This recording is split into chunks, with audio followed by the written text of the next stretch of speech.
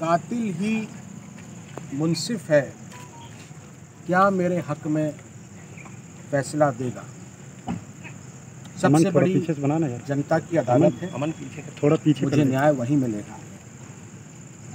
हमारा देश विधि और संविधान से चलता है। बदलापुर और जुगेरिया से नहीं। वो सोचते हैं कि कुश्ती अकेले लड़ेंगे और खुद ही जीतेंगे। जनता को इतना बेबस और बेवकूफ़ नहीं समझना चाहिए। खैर, चलिए, सरकार ने ये तो माना कि जोगी को हराना मुश्किल ही नहीं, नामुमकिन है। मुख्यमंत्री के इशारे पर मेरा नामांकन खारिज करना स्वर्गीय श्री अजीत जोगी जी और मरवाही की जनता का अपमान है। अपनी पूरी ताकत झोंक देने के बाद बस यही वो एक हथकंडा बचा था, जिससे मुख्यमंत्री चुनाव में दिख रही अपनी निश्चित पराजय को कुछ समय के लिए और टाल सकते थे। सरकार भय में है। स्वर्गीय श्री अजीत जोगी जी के जीते जी लगातार उनका अपमान किया।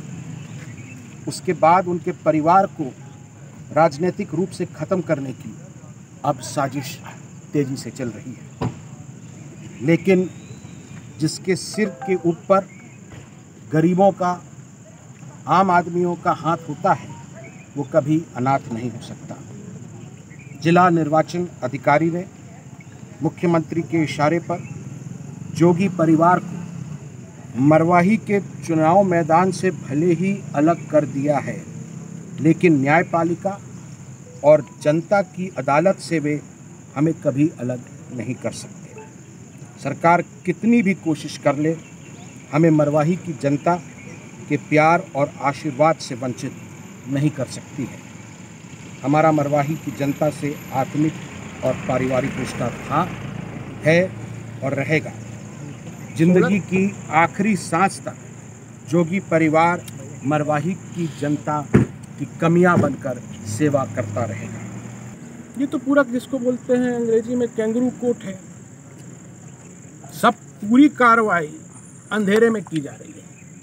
जिसके खिलाफ कार्रवाई की जा रही है, उसको भी अंधेरे में रखा जा रहा है। जो जनता की आवाज़ है, हमारे मीडिया के साथी, उनको भी अंधेरे में रखा जा रहा है।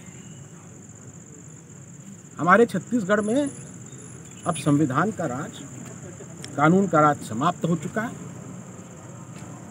यहाँ तो केवल श्री भूपेश बघेल का राज चल रहा है, कल वो खुद यहाँ पर चल के आए। इंस्ट्रक्शंस दिए डिस्ट्रिक्ट रिटर्निंग ऑफिसर को।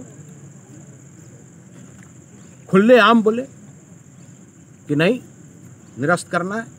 तो जिला निर्वाचन अधिकारी को, जैसे कि मैंने कहा, पहले भी कहा, जिला कांग्रेस कमेटी के अध्यक्ष के रूप में काम कर रहे थे, आज वो प्रमाणित हो गया।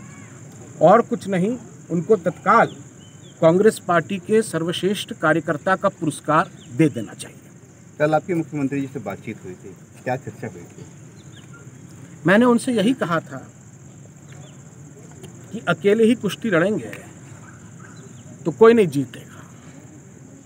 कुश्ती लड़ने के लिए अब अखाड़े में खुद उतर के ताल ठोक रहे हैं, अपनी मसल्स दिखा रहे हैं गोले दिखा रहे हैं। अरे, सामने कोई आएगा मैदान में लड़ने, तब तो आप जीतोगे। आप तो इतना डर गए।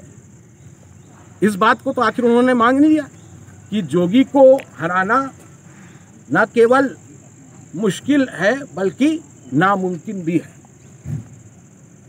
आप मरवाही